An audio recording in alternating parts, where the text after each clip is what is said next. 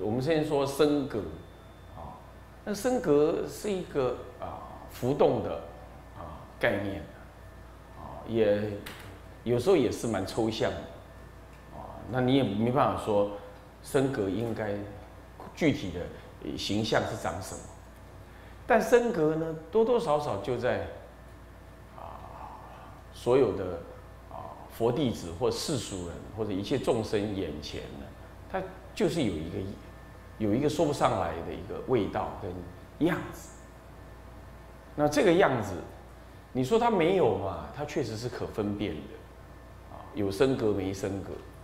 你说它有嘛？那有时候又很难具体的几句话说明说它它应它是什么样，而且你也没办法说某甲某乙这个出家人那个出家人的升格，呃，那具体的又是什么样？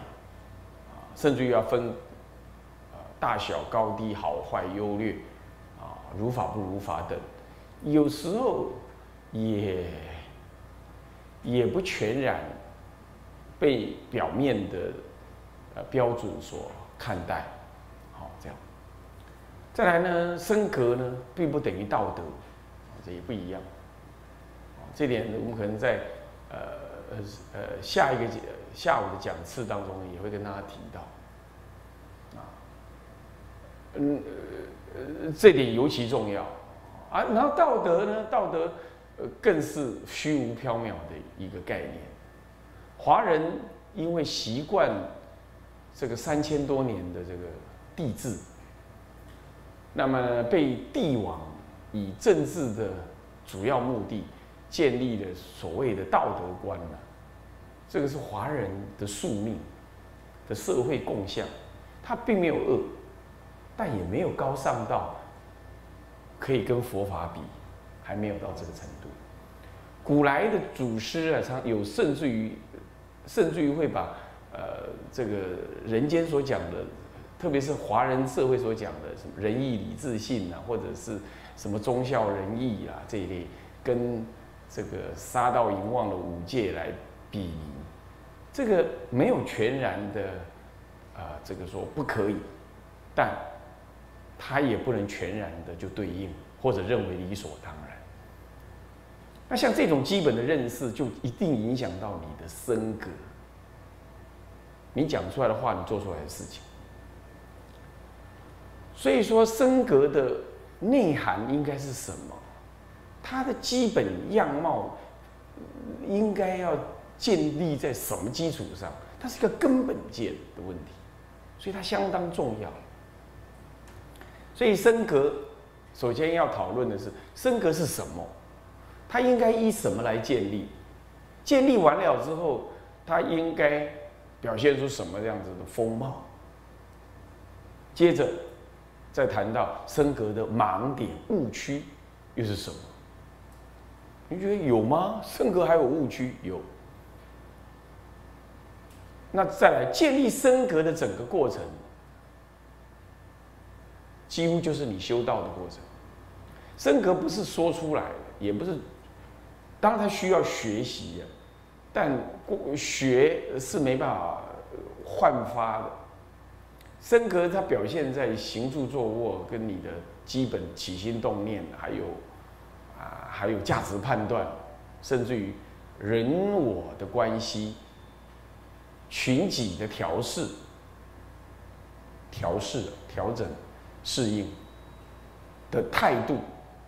最后呢，就表现成为你的菩提心的样貌有无。你要知道，一个大乘大德跟一个南传声闻乘，只注重在自我解脱这件，这这两个人都很有修行，但是你一定会知道身格不同，所以他不全然等于苦修修行，或者是啊。解脱不解脱，它还不全然是这样。对，升格其实是一个很深奥的题目，它可以写一本书的，它牵涉到大小乘，它也牵涉到啊文化及超越文化的这两部分。越到有个年纪的，这对这件事情的看法就越越觉得深不可测。我记得讲升格这种题目，大概我出家以来啊，在佛学里一直在讲，但每一次坐上台去接触到这种题目的时候，你都你就你就是永远就不会有一样的想法，也会有更加深刻的看法。当到我这个年龄来了，但渐渐的定型了。可是应不同的机遇，还是会讲不同的话。我我最近讲一次升格，是在戒场当中，因为戒场一定会讲到升格。这就是我呃我当年呢呃写了一篇文章，我说到说台湾的戒场教戒场活动哈，就受戒三坛大戒，虽然也被升格基本不太不太不太传统的啊弘一大师等。这样子的人呢，为文所批评，他是批判三坛大戒的。那我也看，但我就我就我第一我不是大师啊，第二我是后学者，第三我们能接触到的环境相对于呃大师那个时代相对多元一些，那因此我们得要面对更多元的想法。因此，我们我不会，也没办法，也不敢用弘一大师的那样子的看法来看待。包括现在所有学界的有在学界的比丘，他也最后也是接受三坛大戒的事实啊，他也是在传三坛大戒。所以说，古德的这样的批评，我们知道他用意很善良，但我们就必须去其弊，取其利啊，不一定在形式上就要废三坛大戒。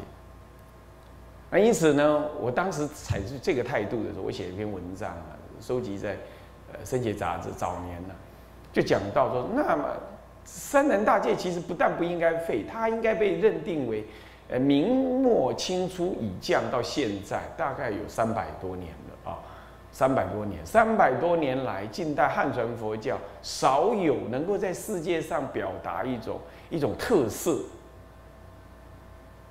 的。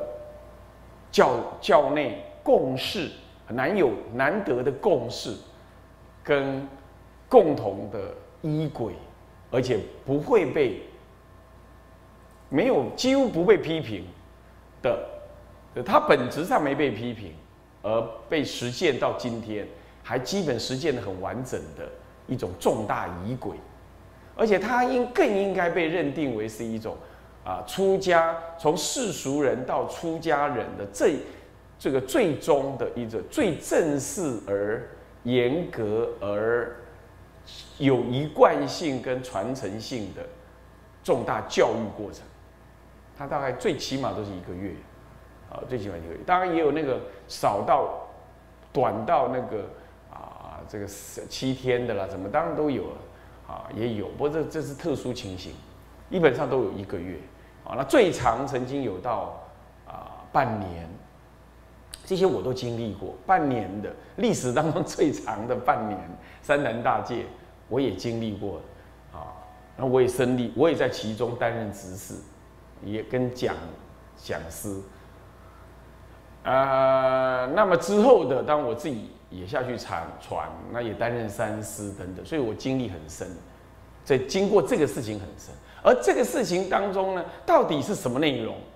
其实古兰并没有明显的文章去说明这些事情，而就在传戒这件事情呢还没有解严之前，台湾还没有解严之前，其实我就思考这个问题。然后接着呢是解严了，解严了之后就民国七十六年解严，解严之后呢意味着什么？意味着民间可以自己组织自己的人民的团体。那么什么什么是人民的团体呢？就是所谓的财团法人跟社团法人。其实它还有一个叫做宗教法人，第四种叫做社会的社会，呃不不，应该叫做政治法人。人间大概可以分辨的是四种法人。那么完整有这种四种法人概念的是在日本，台湾呢目前呃这个什么？因为对于宗教的看法。一直存在一个过去的遗序当中，帝王的遗序当中，他认为国家必然的管理宗教，因此呢，这种思维是错误的。那这个错误的话呢，这牵涉到升格了啊。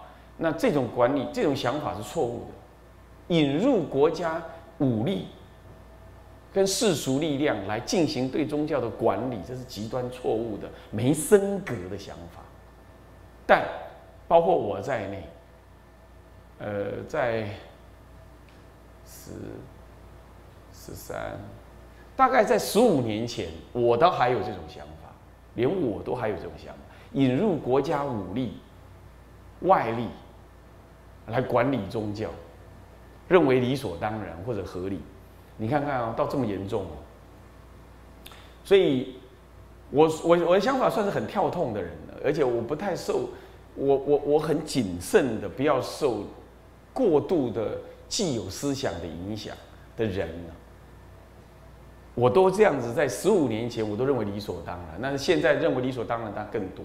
那政治人物更是如此，所以。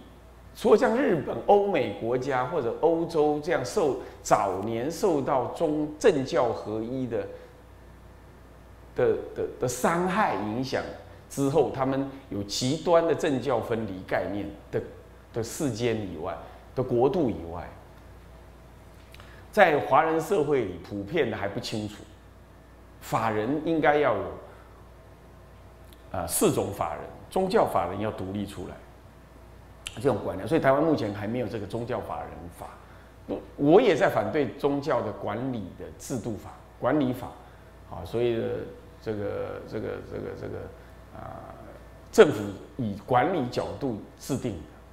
那么我们就是要制定一个国家，应该说一定程度的尊重、保护宗教的宗教基本法是这样。那这是牵涉升格的，就你怎么看待你？身为一个宗教师，自我该扮演的角色，以及该完成的责任，还有你跟社会之间、跟国家之间的角色，这都是升格。你升格这么广。